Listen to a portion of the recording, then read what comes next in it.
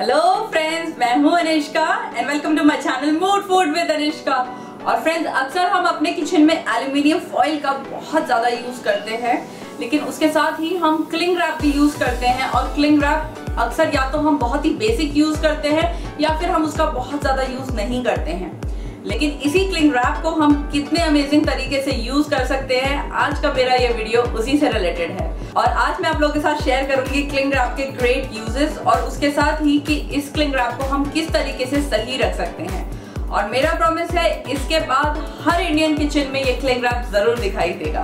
तो चलिए, शुरू करते हैं क्लिंग रैप हैक्स के साथ।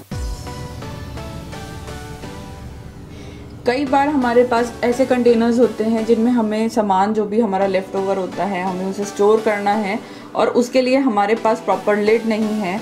तो उसके लिए हम यूज़ कर सकते हैं क्लिंग रैप बहुत ही ईजी है। इसे इस तरीके से अगर हम कवर कर दें तो हमारा लिड का प्रॉब्लम एकदम सॉल्व हो जाता है।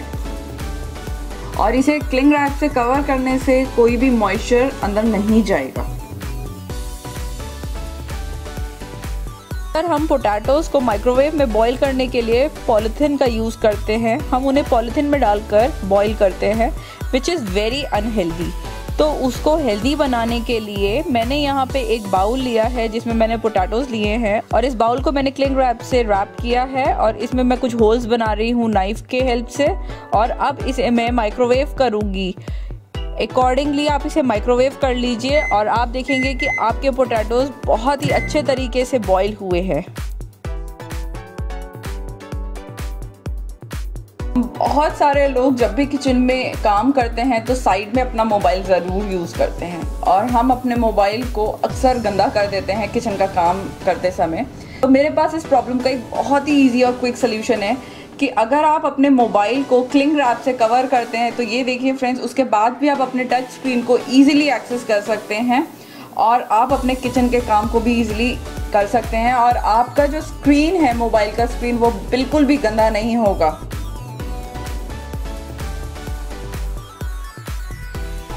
फ्रेंड्स, कई बार ऐसा होता है कि हम जो डो लगाते हैं, हमें ये चाहिए होता है कि उस डो में बिल्कुल भी एयर ना जाए। उसे हमें बिल्कुल ऐसे एयर टाइट कंटेनर में ही कवर करके रखना होता है। तो उस केस के लिए cling wrap is the best solution आप किसी भी अपने डो को क्लिंग रैप से रैप कर दीजिए और उसमें बिल्कुल भी एयर या मॉइस्चर अंदर नहीं जाएगा। और आपका डो, जैसे कि आपको कई बार पिज़्ज़ा का डो, पिज़्ज़ा बेस के लिए आपने डो लगाया है या गार्लिक ब्रेड्स के लिए हम जो डो लगाते हैं तो वो प्रॉपरली डो जो है हमारा, वो राइज होकर आता है।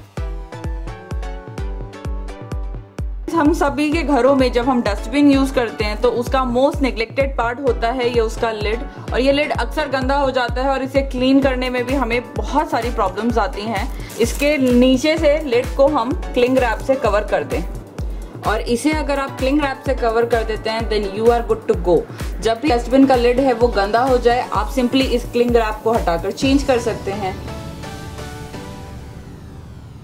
सर हम जब भी खाना बनाते हैं तो हमारे गैस का जो पीछे का एरिया होता है, वो अक्सर खाना बनाने की वजह से गंदा हो जाता है और उसकी क्लीनिंग बहुत ही डिफ़िकल्ट होती है।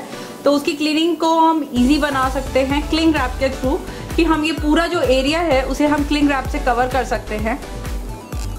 तो फ्रेंड्स ये देखिए गैस के पीछे का जो इतना भी एरिया था, मैंने इसे क्लिंग रैप से कवर कर दिया है और इसके बाद जब भी हम खाना बनाएँगे तो जो भी उसके छीटे आते हैं तो वो सब हमारे क्लिंग रैप पर आएँगे और जब भी वो गंदा हो जाएगा तो हम इसे ईजिली चेंज कर सकते हैं फ्रेंड्स अक्सर ही हम ब्रेड के सैंडविचेस या ब्रेड जैम अपने ट्रैवलिंग पर्पसेस के लिए या किड्स टिफ़िन में पैक करते हैं और जब भी उन्हें हम खाने के लिए जाते हैं तो उनका जो आउटर सरफेस होता है वो अक्सर हार्ड हो जाता है तो फ्रेंड्स इसके लिए हम क्लिंग रैप में सैंडविचेस रखेंगे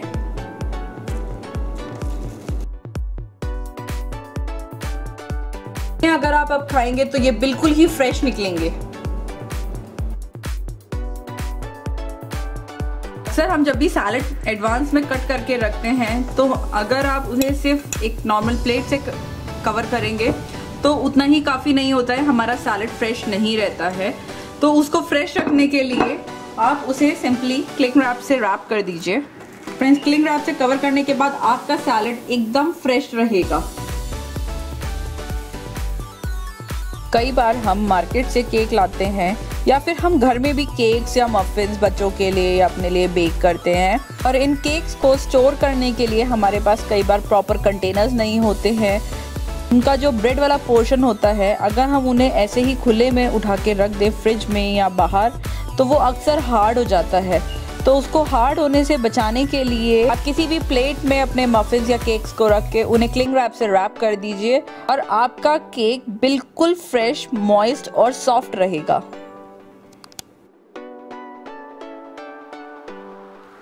फ्रेंड्स अक्सर हम मार्केट से फ्रेश बनानास लेकर आते हैं, लेकिन एक या दो दिन के अंदर ही वो बहुत ही जल्दी राइप हो जाते हैं। तो उन्हें जल्दी राइप होने से बचाने के लिए उनके जो ये एज होता है तो ये स्टेम है। इसके स्टेम वाले पार्ट पर अगर आप इसे क्लिंग रैप से कवर कर दे अच्छे से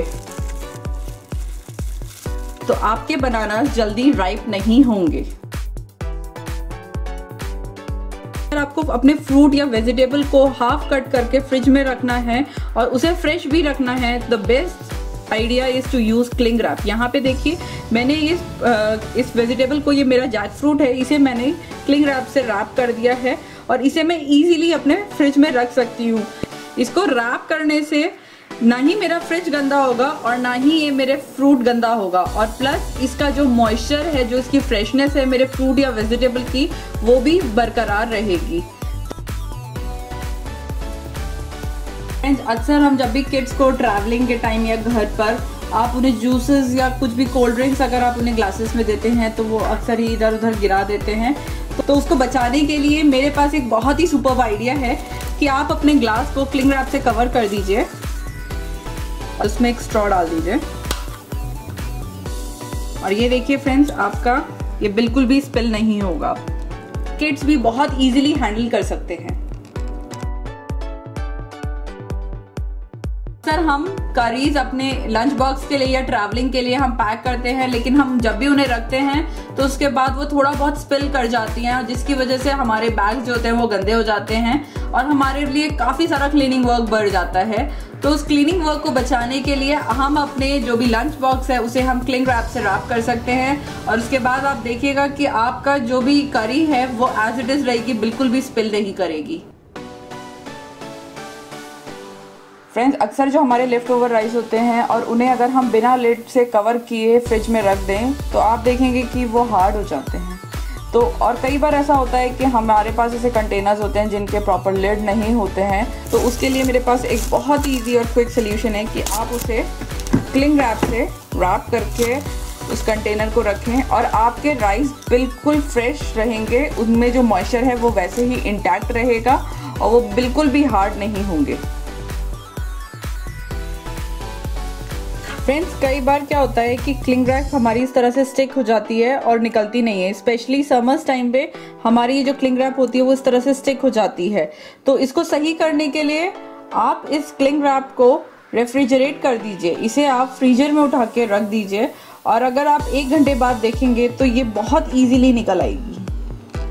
तो फ्रेंड्स इतने सारे यूजेस देखने के बाद आई एम श्योर कि आप लोग के किचन में भी आज के बाद क्लिंग रैप ज़रूर होगा। इसके साथ साथ अगर आपको इस क्लिंग रैप वीडियो हैक में एक भी हैक अगर अच्छा लगा है तो इस वीडियो को लाइक करना तो ज़रूर बनता है। और उसके साथ ही, इसे आप अपने फ्रेंड्स और फैमिली के साथ शेयर करना बिल्कुल भी ना भूलें। और अगर आप मेरे चैनल पर नए हैं तो जल्दी से मेरे चैनल को सब्सक्राइब करके वो छोटू सा बेल आइकन ज़रूर प्रेस कर दीजिएगा।